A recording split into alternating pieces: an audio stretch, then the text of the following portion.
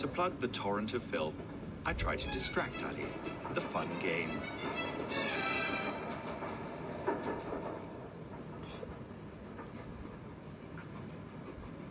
Is that supposed to be fun?